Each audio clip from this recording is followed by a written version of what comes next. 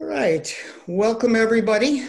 I'm Glenn Marks, collaborating with Robin Zander on responsive.org. I'm from the 180 Circle. And welcome to another webinar, live interview. And today I'm delighted to include John Bunch from Zappos. For those of you who would like to ask questions, there should be a chat button on the bottom of your screen and you can type questions in and be happy to uh, ask John whatever comes up within the allotted time that we have. So, John, great to talk to you again. Can you just start off and talk a little bit about your background and your history with Zappos? Yeah, uh, thanks for having me and uh, looking forward to uh, engaging in a, a conversation with with everybody here today. Um, yeah, my history at Zappos, um, I started, it's been, I'm coming up on 10 years at Zappos and uh, actually started as a software developer um, in 2009. Um, and uh, my, my journey at Zappos has been a little bit unique uh, and different. Uh, uh, I was kind of going up through the traditional job ladder uh, with software development. So I, you know, started managing a, a team um, and uh, and that was going well. Um, and then one day in my inbox, I got an email uh, that said uh, that Tony, our CEO, Tony Hsieh, uh, was looking for an advisor.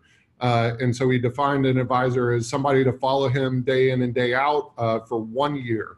Um, and there was a lot going on at Zappos at the time. And so I thought this sounds like a really interesting opportunity. So uh, applied for that role and was fortunate enough uh, to be selected uh, for that uh, role. And that kind of uh, took my career in a different direction. Um, and so, uh, you know, at that time at Zappos, a lot was going on. Um, we were in the midst of moving from Henderson, which is kind of suburban Las Vegas, to downtown Vegas. We had acquired the, um, acquired the the old city, Las Vegas City Hall. Um, and so we were moving downtown. Um, we were also doing a lot of thinking about, we had grown from a small startup uh, to a 1500 person company. And there were a lot of, um, there were a lot of things where we felt like when we were still a small startup that we were able to change course and be really adaptable and responsive, um, but that we had lost that um, kind of as we had grown. Uh, the analogy we like to use is we had grown from a, or we had started as a speedboat, so a ship that could change course really quickly, uh, and we had grown to a cruise ship where you know cruise ship there's a lot to like about cruise ships there's lots of amenities uh, and you're still making progress you're still moving forward but um, if you want to change course it just takes a really long time let, let me let me interrupt you for a second yeah. John. there's been a lot of questions and a lot of mystique around Zappos. And for better or for worse, Zappos and Holacracy seem to be uh, embedded in a lot of people's thinking.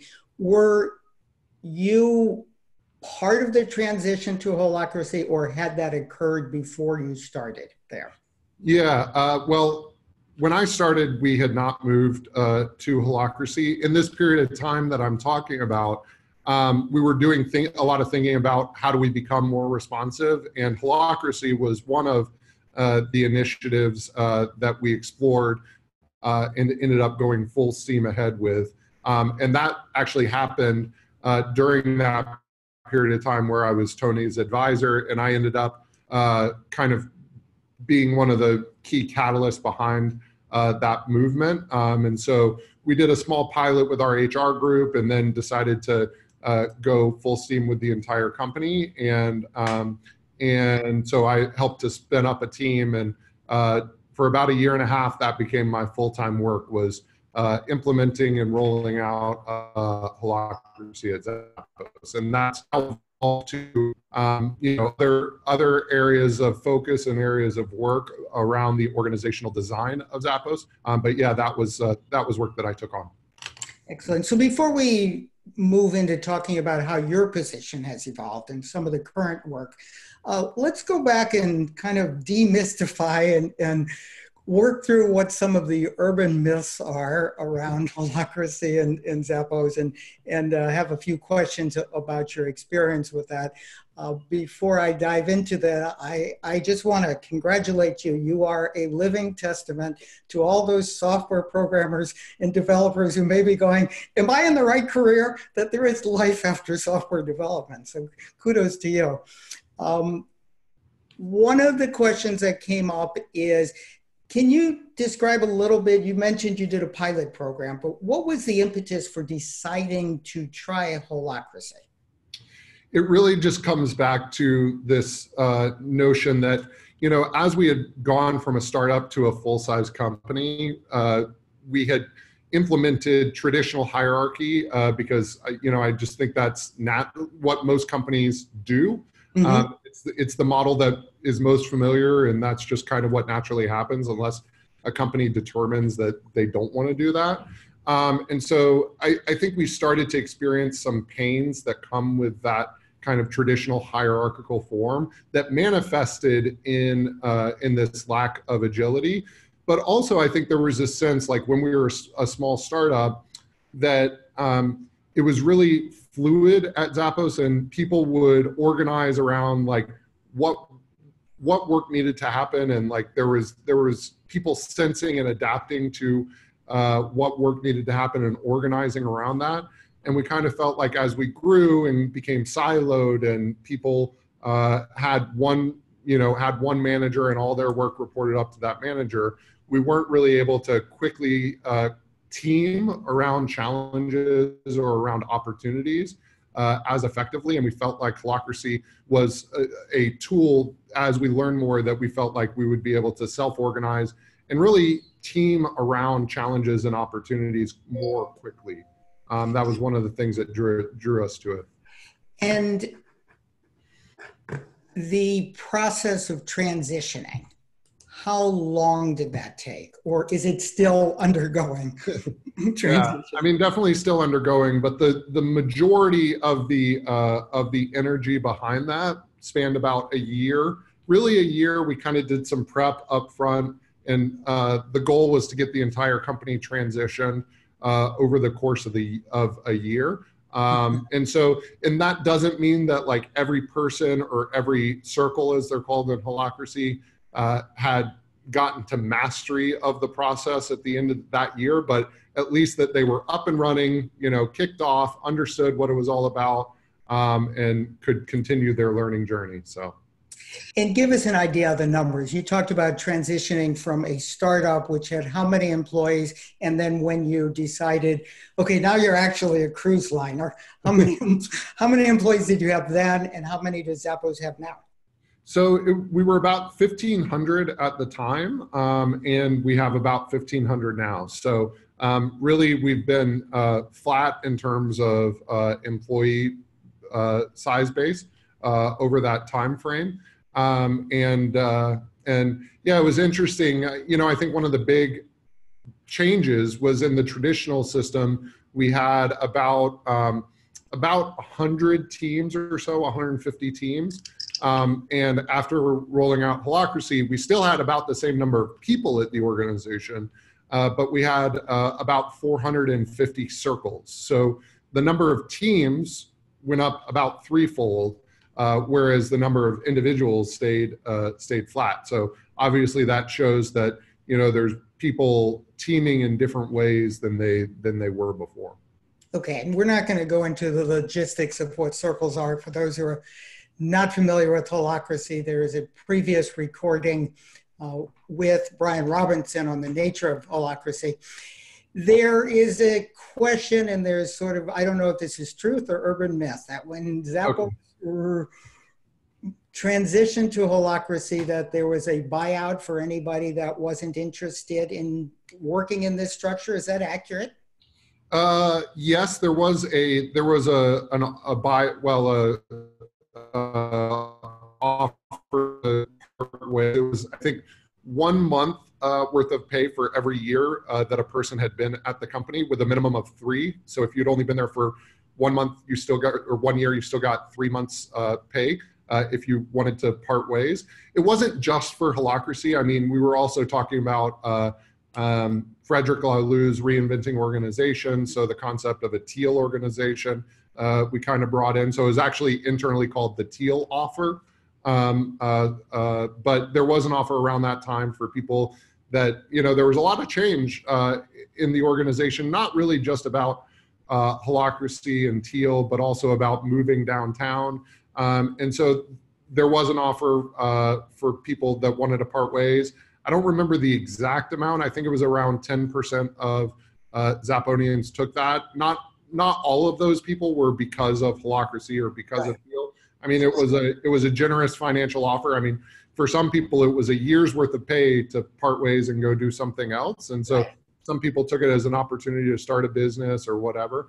Um, but uh, but yes, there was that offer, um, and uh, and uh, and you know, I think uh, it, I think at Zappos we always want people here who are uh, committed to the organization aligned with the vision of where we're trying to get to and are really energized behind that vision. And there have been times throughout our organization where we've made similar offers. For instance, uh, we moved from uh, San Francisco to Las Vegas in the early days, and they did a very similar offer at that time. Uh, and you know, one of the things that's well known about Zappos is at the end of our new hire process, everybody gets an offer uh, to quit um, which is you know a little bit strange because you know we've invested a lot of time, money, and energy into recruiting uh, the right person, uh, and then we put them through a month-long new hire process, which is longer than most companies do, and then all of a sudden they get an offer to quit. That seems weird, but it all comes back to this: we want people here who are energized and aligned around where we're going as a company. And do you have any idea how many people take up that offer on quitting after they get onboarded? Percent, um, I don't have the exact numbers. Uh, it's if there's a big class, I don't. I think it's maybe around one person if per class of like 30, 40 people. Maybe maybe a little bit less than that. I don't have the exact numbers. Certainly not frequent, but it happens. And and I'm imagining, and, and this may or may not be in your circle, but I'm imagining that the people who analyze the data find it's actually a lot more cost effective to part ways before people get enmeshed into the culture and go, oops, this isn't really what I want to do. Yeah, yeah. I mean, it, it, it creates a much better work environment. You know, I think both for the person, uh, you know, we want people here who are happy, energized to be here. Mm-hmm. And if for whatever reason that's not the case, like it's better for you and it's better for us if, you know, if right. uh, we decide to part ways. So. So I have a question from one of the participants about the process of switching to holacracy in terms of how did you onboard leaders and get them to relinquish the power that they had? Yeah. And, the, and sign off on just no longer being the hierarchical leader. Yeah, I mean, at Zappos, I think even pre holacracy, uh, there was a lot of onus put on individual autonomy um, and uh, and authority. And so holacracy helped further cement a system that directionally I think we had already uh, already espoused. And so um, for those that don't know a lot a lot about holacracy, one of the tenets is distributed uh, authority. And so um, putting authority uh, for making decisions down to specific roles and uh, relinquishing that from the lead link role or the leader role in holacracy. And so I think it was already aligned with kind of how we thought about leadership at Zappos, but it put more of a system behind that.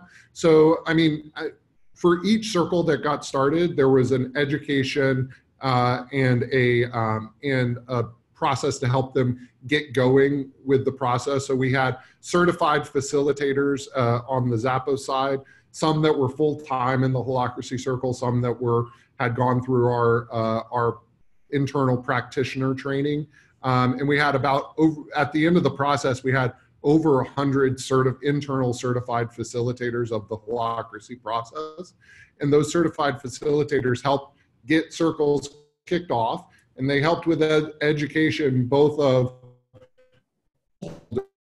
lead within those within those teams about what practicing holacracy men and how to practice it, both from a leadership perspective and a role perspective. And so they were kind of a, a core uh, uh, um, way that we did that. We also held like lead link communities of practice. So times for lead links to come together to discuss, you know, the differences between the old system and holacracy. Um, mm-hmm. so there were a lot of different ways that we uh, that we supported and offered educational opportunities for folks to to learn whether that person was a lead link or you know uh, not a lead link. All right, so there's a couple of questions that I'm going to weave together for you. And for those participating, uh, we will eventually move into where's some of the innovations that Zappos uh, is engaged in currently, but there's a lot of curiosity about the process of holacracy. Um, there are two questions that come together. Is Zappos still fully embracing holacracy? And if the answer is no, what have been the benefits? What have you kept? And what have you decided to evolve to fit the needs of Zappos? Um, so, is Zappos fully practicing holacracy? Yes, we are still operating fully under the holacracy constitution. I think the thing that's important to know is we've never had the holacracy police at Zappos. So what that means is that there's nobody checking up on every single circle saying, are you having your tactical meetings or your governance meetings? Are you capturing roles? Like there's no holacracy police where we go around and, and uh, make sure that the practice is at a super high level. So from an organizational standpoint, we still operate as a holacracy and you know, we capture our roles, we capture our policies, everything is in the holacracy uh, process and lingo. Um, now, the reality of the situation, I think, if you look across the organization, there's different levels of practice. So, if you look in one circle, it might be a super high functioning holacracy where if a holacracy expert came in, they would say, oh, this is a shining example of holacracy. And then in other circles, they're maybe doing the bare minimum needed to capture what they need to capture and they're not really fulfilling a lot of the the high level practices and and so i think for us you know obviously i would like it if every group and every individual was a shining star of holacracy practice but i think you know for us it's always been about supporting people where they're at um, helping you know helping them make the most out of the process and not also not um, not being over uh, over uh, enforcement of you know this is exactly how it has to be so we do mm-hmm. have some systematic things that ensure that certain elements of the holacracy practice are being followed but for the most part it's just kind of um, up to their their own uh, own way of going about things and so how if there's this independence and autonomy among teams how do you keep all of the circles on the same page. In a pure holacracy format, there's a representative from each circle and, and other circles. Is that how you're keeping everybody on the same page? And how do you optimize execution of your strategy? Yeah, so I mean, we still have the rep link is what you're talking about. We still have rep links. It's captured in our system for how we capture uh, holacracy you know, I think practically how that works, let's say there's a circle all the way down in some area that's not really practicing uh, at a high level. Um, you know, but somebody in that circle wants to make some change with a different area of the organization, or maybe at the GCC, our broadest circle, like they have some idea of a new policy that they want to uh, initiate. Like that will have to happen through the holacracy process. So even if they're, even if at a base circle level there's not you know a high level of practice going like they they will encounter at some point some place where they're going to have to understand a little bit better uh, what that process looks like and engage with it so um, and and we're there to help like if if they're in a localized area where the practice is really at a at a you know a basic level and they're trying to do something that's a little bit more complicated like we're there to help them uh, understand how um, how to do that. So, so I want to come back to this. Um, want to want to come back to this idea of in a traditional hierarchical company, the yeah. many of the goals are set at the top level and then they get filtered down to the management system. And you have your kpis and you have your bonuses and you have your performance reviews. Um, since you have much more of a fluid kind of organic type structure is there a process where the overarching goals filters down and there's a, a way to hold teams accountable how does that work yeah well that maybe gets a little bit more into where we've evolved to uh, since uh, implementing Holacracy, um, something you alluded to a little bit before. Um, one of the big initiatives that I'm currently work, working on is something called market-based dynamics, or something internally we've dubbed market-based dynamics. Um, and the uh, the thought process behind that is that we don't want to. I mean, I think one of the one of the things that research has found is that as companies grow, productivity per employee goes down. Mm-hmm. But as more dynamic systems grow, productivity per individual goes up. So um, there's a book called Triumph of the City where it talks about how as cities grow in size, productivity per uh, resident goes up. And so we want to model ourselves more on a dynamic, uh, complex, adaptive system and less on a traditional hierarchical form. And so that this market-based dynamics concept is one of the ways that we're looking at doing that. And so market-based dynamics said simply is each circle operates like its own micro business, micro enterprise. And so they're responding to market uh, market feedback about, um, so each circle has a, a, a service offerings um, and there are customers, whether those customers be internal or external, uh, that buy those service offerings. And so they're responding to what the market is saying needs to happen or what the market is saying uh, the opportunities are and dynamically doing that. It's not kind of a top down set vision of what Zappos needs to be doing. It's a localized sensing and responding to uh, to opportunities. That is how we think about that.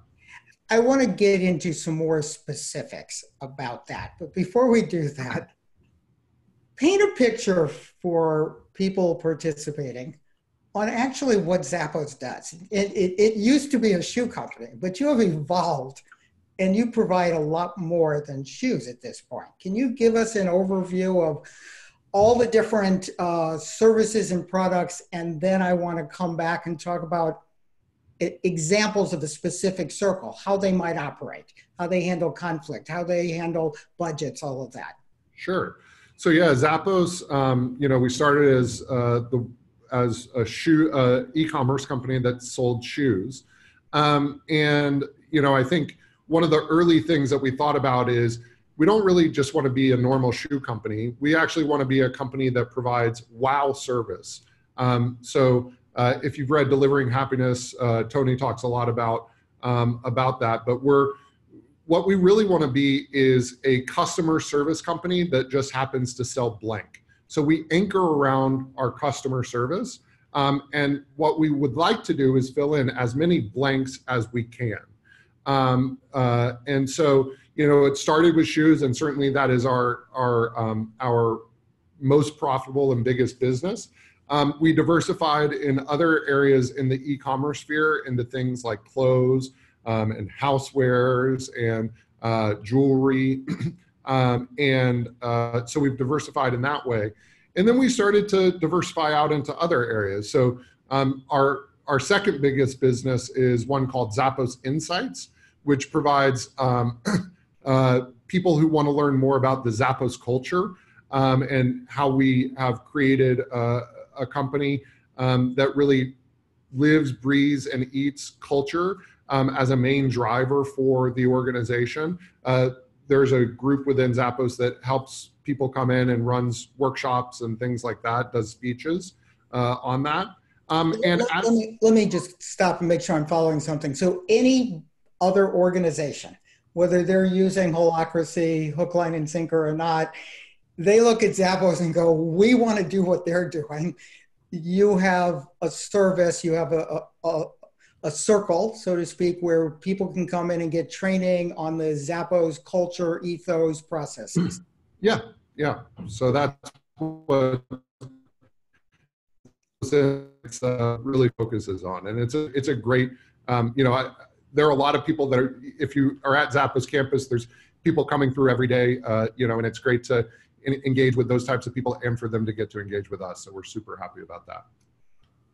Okay. Um, yeah, but as as we look at uh, you know this concept of market-based dynamics, we really want to encourage and help people fill in as many of those blanks as we can. Zappos is a customer service company that just happens to sell blank, um, and so we're we're starting.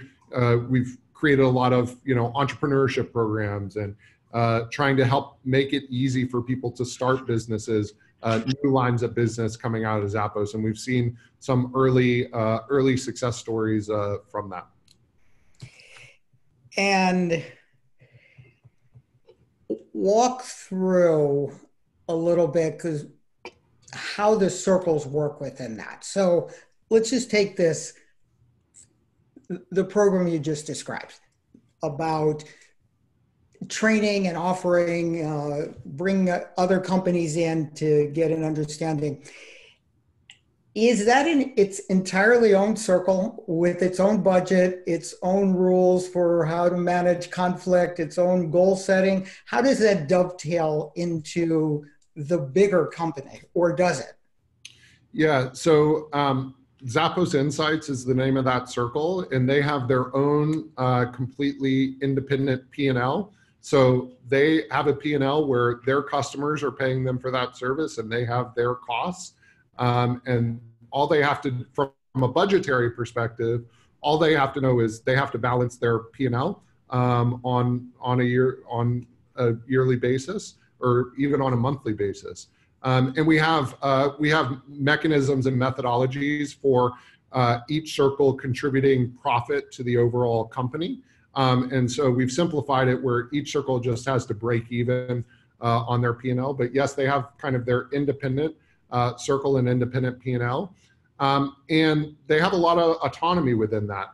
One way to think about kind of holacracy layered on top of that is that holacracy becomes kind of the the city government for Zappos. So we have these independent small businesses operating in this ecosystem but we still have ways of governing how those how the interactions between those independent units operates um, and holacracy is our way of doing that so let's say um, uh, zappos insights is operating as an independent group and something that they're doing is creating conflict with some other circle in the uh, mm-hmm. ecosystem.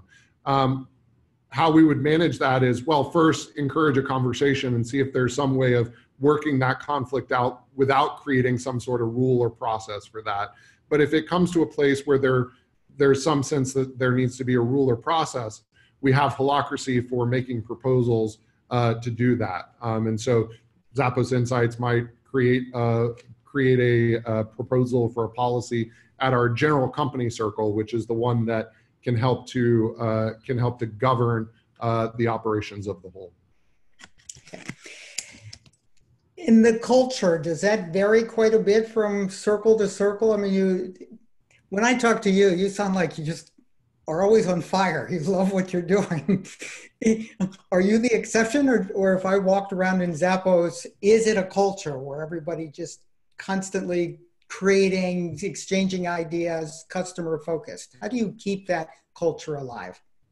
Yeah, I mean, I think, you know, I, have worked at a few other organizations and I can only speak for my own personal experience.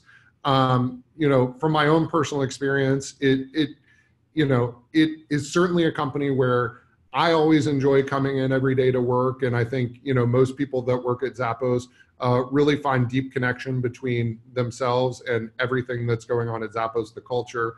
Um, it's certainly a place where one of our core values is embrace and drive change. And so there is a lot of change. Change is constant at Zappos, certainly at a higher level than uh, than at you know other places I've worked, and I think the standard. Um, but that kind of becomes the norm at Zappos. And so there's always a lot going on. Sometimes that can be challenging. You know, it's challenging to have a place where, you know, how it was yesterday is not necessarily how it's going to be tomorrow. But, um, you know, I think we attract people who, uh, who really like that environment. um, and uh, you know, it, we create this fun, fun and weird place to come and work, and and uh, and it really is a place where when you walk around, there's um, there's a really a sense of excitement that doesn't uh, wane. It it kind of helps to self perpetuate. I've also heard you make some comments about that where Zappos is very unique, or at least from companies I'm familiar with, about some of your long range planning. Did I hear you once say you have like a hundred year plan or something like that, or am I making that up? Even longer. Um, so, uh, you know, one of the purpose of a circle that I'm involved in called Evolutionary Organization is uh, to help Zappos be around in a thousand years. And so um, we're doing a lot of thinking and a lot of research around uh, what makes organizations uh, anti-fragile um, uh, and, and which is a step beyond resiliency, um, where you actually get better as uh, uh, as tensions or opportunities get filtered into the system. Mm-hmm. Um, and so we're looking at work uh, like that from Martin Reeves, uh, The Biology of Corporate Survival, um, to look at how we can create a company that does that is around in a thousand years. And we're looking at how do we bring those practices and principles into the organization, into Zappos. Um, and market-based dynamics is one of the things, uh, one of our current initiatives to help us uh, become more anti-fragile as an organization. So there are at least two components of that, and, and one is your, and, and I'll ask you some questions about the the, the um, market-based strategies, and then there is the people part of it, and constantly making sure people are developing the resilience, keeping a, a healthy culture. Are those addressed separately? Do you have a bunch of coaches on staff? Do people, how, how, how do people build that connection and that resilience within the teams and the circles? Yeah. I mean, so one of the things that we've been talking a lot about uh, recently at Zappos is something we call the triangle of accountability. And so our, our idea is that no matter what it is, as long as it falls into three components, uh, we that is something that we want to pursue.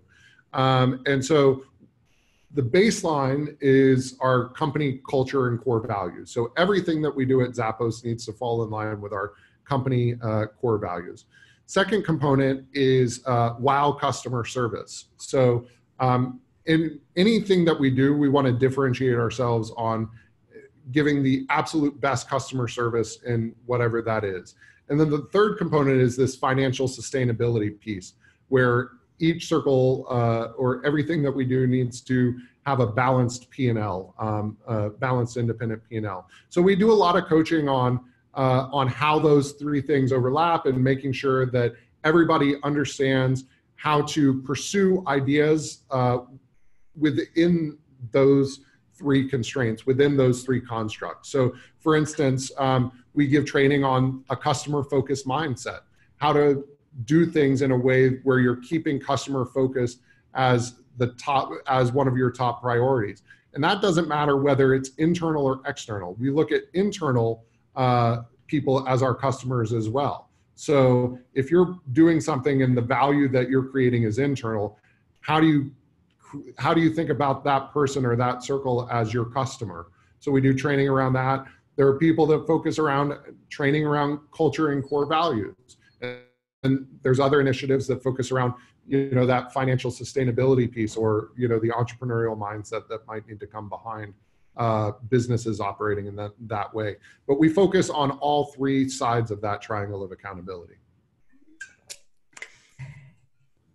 are there specific tools, apps, software protocols that uh, help keep the operations all within this triangle you're talking about? Yeah, yeah. I mean, a lot of this we're uh, kind of uh, uh we are the, one of the only organizations that we've seen that are looking to operate in this way. I think it's something we're hoping uh, has a lot of success, and over time, other organizations uh, see the benefits of. Um, but we're building a lot of our own tools in house to help us uh, run and operate in this way. So, like for the financial sustainability piece, we have a tool called the CFO tool, uh, which helps us, uh, which helps have uh, each circle have its own P&L. Uh, it does things like uh, circles can create service agreements between one circle and another circle, um, and it helps circles uh, create invoices with customers outside of Zappos. So anything related to that financial piece, we have a tool called the CFO tool that helps us to, to operate that. Um, we have other tools that we built. So we have a tool called Huzzah, which helps us uh, do our internal org structure. Um, and we have other tools for things like how do you give difficult feedback from one person to another? There are tools that help uh, help to uh, coach people on that as well. So yes, we've got a bunch of in-house tools that um, that help on all three sides of those that triangle of accountability. In following up on the software you're developing, the market-based uh, strategies, I presume these are constant evolutionary processes. Yes. I'm, I'm going to I'm to name one of my pet peeves, which it sounds like you, you your company is ahead of the circle, which is how many times I'm being serviced at some healthcare organization or some large global retailer, and the person I'm interacting with spends a disproportionate amount of time looking at a computer screen. You, are these things that come up when you're talking, when you talk about wow customer service, that has to be a factor. So, where are you getting your feedback? Where are you getting your information that your system needs to be tweaked? It's great, it's ready to go to market. How does all that work? Um, yeah, I mean, well, I think we have I'll talk about kind of our e-commerce business and then the rest. Okay. So our e-commerce side, which is still a vast majority of our business, um, you know, there's there are teams that focus specifically on uh, creating tools uh, that uh, that really make that customer interaction, however it happens, whether it's you know calling on the phone or a live chat or whatever, making that customer interaction as good as it can be and getting good feedback about how we're doing with that. So there are teams specifically focused around that challenge. Um, as it comes to internal or, or other, just the rest, um, you know, I think we're building these tools. Um, and so we uh, create ways of people giving us feedback around those tools specifically, um, whether that be, you know, links down at the bottom of the tool or uh, surveys that go out about you know how how are you feeling about not maybe not just the tools but the overall systems and thought processes. Um, so uh, we have surveys around that. Um, and then one of the other bits that we're uh, just as far as it comes to uh, that customer focused mindset and that being applied internally um, we have uh, you know uh, ways for people to give feedback directly to uh, to people that are servicing them about how well they're servicing them. So like customer satisfaction scores. Um, but I think one of the one of the exciting bits is that in traditional organizations, those relationships are not um, are not super uh, defined. So you know, one group may be servicing a lot of different other groups, but there's no direct service agreement or no direct line of this group is servicing these people, and that often I, you know, I think one of the things I'm excited about is that we are making that more uh, defined, and that will help those people who are being serviced give good feedback to the servicers or give good customer satisfaction scores to the servicers, which just creates this more open, transparent flow of information. Um, because you know, at Zappos, I think I can truly say that every circle really wants to be as best as they can be and do you know uh, do as well as they can. And so, any way that we can increase the amount of communication and feedback, uh, we would love to do that, and we're we're aligning our tools um, around that as well. Excellent. And in terms of uh, let's go to the e-commerce, the decisions about what type of products to add, the decisions to go beyond shoes.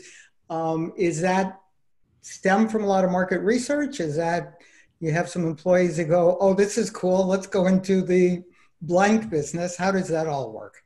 Yeah, I mean, and and so that's part of that's another part of maybe an an initiative that within market-based dynamics we're looking to explore. Um, you know, when a traditional e-commerce company, the way that it happens is there are buyers that are specifically focused around one specific, whether it's a brand or uh, customer segment or whatever, but there's one buyer that is, uh, you know, that is specifically there to buy that one brand or that one product. You know, I mm-hmm. think we're exploring avenues where it it it opens the doors. Where if you, as a Zappos employee, uh, have an idea of getting into a product category or brand or a style that we're not currently into, that we're not currently in, like you should be able to invest in that um, and create your own, uh, you know, make your own buying decisions and be judged based on the uh, based on the uh, whether that you know sells really effectively or not.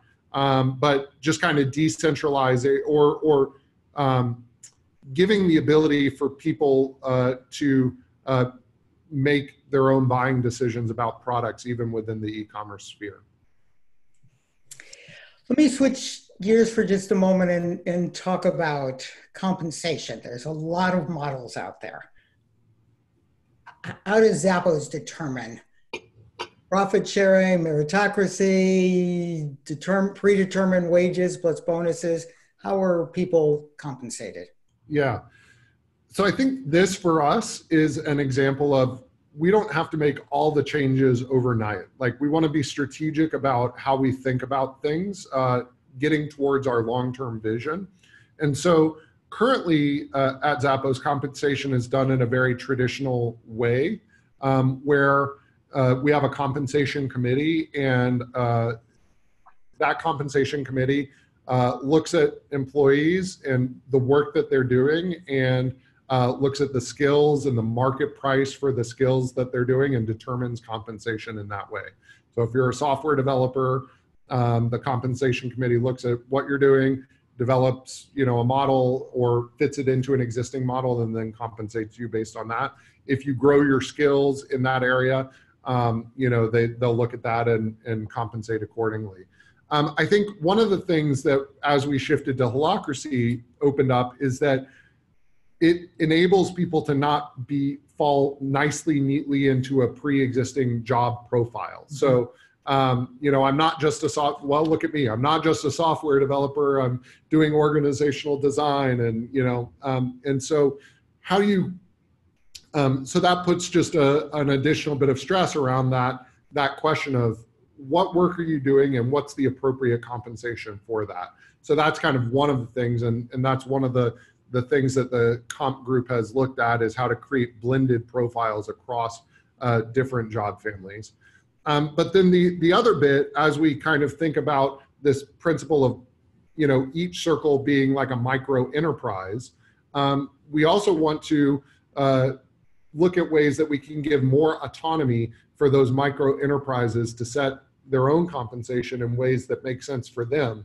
Um, um, within as long as so going back to the triangle of accountability like each circle is judged on a p&l and they need to make uh, decisions that are financially sustainable. But as long as they're making decisions that are financially st- sustainable giving them more autonomy of how they decide to comp within their group and, and how all that works. And you might be a member of multiple different circles so your comp might be uh, might be a blended model from a little bit from this circle, a little bit from that circle. So that's something we're looking into, but we haven't.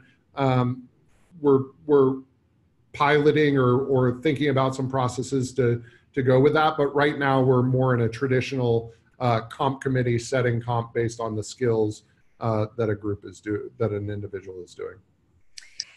And another very sort of tangential question and I will be introducing someone in a future webinar talking about the level of anxiety and emotional well-being in the tech industry, the fact it changes so quickly, the fact that people constantly need to keep up. Do you monitor that? Do you take surveys on customer well-being? Is I'm uh, not customer, I'm sorry, employee mm-hmm. well-being. Is there any reason to believe that people are happier and emotionally healthier at Zappos than the blank company out there? Yeah. I mean, I think just like a lot of companies today, we have employee uh, sentiment surveys that monitor the progress of, you know, how employees are feeling about uh, a wide range of things, everything from culture to uh, emotional well-being, and so th- those are things that we try to monitor. You know, I think we also have programs that speak to speak to that. We have, for instance, life coaches uh, uh, on staff um, that um, if there are people that need support, um, that they have that as an internal resource. We also partner with uh, external vendors that uh, specialize in some of those areas to, to, to give opportunities to. So it's something that we're certainly not blind to, and we do everything in our power uh, to support uh, people with that. Um, uh, so yeah, we definitely definitely try to do what we can with that. And am I correct that Zappos has a nonprofit foundation? We have, yeah, we have a, a, a group that focuses on uh, focuses on charity. Um, I don't know the specifics on like the exact dollar figures, but uh, certainly if you come to Las Vegas, you will see lots of uh, lots of engagements with uh, Zappos and uh, external uh, entities that are that are uh, not for profit. So, for instance, we have a we have a uh, you know a Thanksgiving. We have a lot of people on on campus giving out meals and so forth. Or we have uh, engagements with um, uh, like prom closet, where people come on campus and get you know uh, things for their prom. Um, and so we also have host a prom for uh, special needs uh, folks. And so it really, you know, runs the gamut, but we do have a lot of different initiatives with the community. So you're going to have an uptick in people applying for jobs after this interview. We hope. We hope. Sounds like uh, really an extraordinary uh, organization. So, John, you will be on the main stage at the Responsive Conference, which is being hosted at Zappos headquarters. Another example of Zappos generosity and, and inclusion. Um, you'll be continuing this conversation about some of the evolution of Zappos. For those who are interested, that will be September, and I think I have the dates right 11th and 12th. It's either the 11th or 12th or 12th and 13th. Uh, for more information, you can go to responsiveconference.com. For more information about some of the work in the responsive community, you can go to responsive.org to find out more about my work, coaching, and consulting with the high performing teams, and to catch recordings of previous interviews. Uh, as mentioned earlier, there's a recording of um, Brian Robertson of Holacracy. You can go to 180 circle.com. This, John, if people want to get a hold of you, is, is are you publicly available or? Yeah, I am publicly available. Probably the best way is uh, LinkedIn. Uh, just, you know, add me on LinkedIn and, and uh, ask a question. I'm not super active. Uh, I, I can't promise a one day response time, but uh, uh, go through there every once in a while. Um, so that's probably the best way. Okay. So, final uh, set of questions for you. In from your vantage point, what do you see as some of the most exciting trends, both in Zappos and the future of the workplace in the next five to ten years? And the flip side of that question is, what do you see as some of your biggest concerns about the future of work in the next five to ten years? Yeah, I mean, I think through technology, there will be a, an increased ability for uh, for work to be more agile, adaptable, nimble, and um, and non-traditional. You know, not having to pigeonhole uh, work into a certain thing. Um, and so I'm excited to see uh, see the evolution of that um, and creating really workplaces where work change and shifts and adjusts to meet opportunity spaces and customer needs. Um, I think that that will happen, uh, you know, increasingly as we uh, as time goes on. And so I'm excited to see that. I'm excited to uh, hopefully at Zappos be a model for uh, for how that can work. um, a model that we can share with other organizations who might be similarly uh, inclined. Um, and so uh, excited to see that and see how technology uh, enables that um, uh, over time.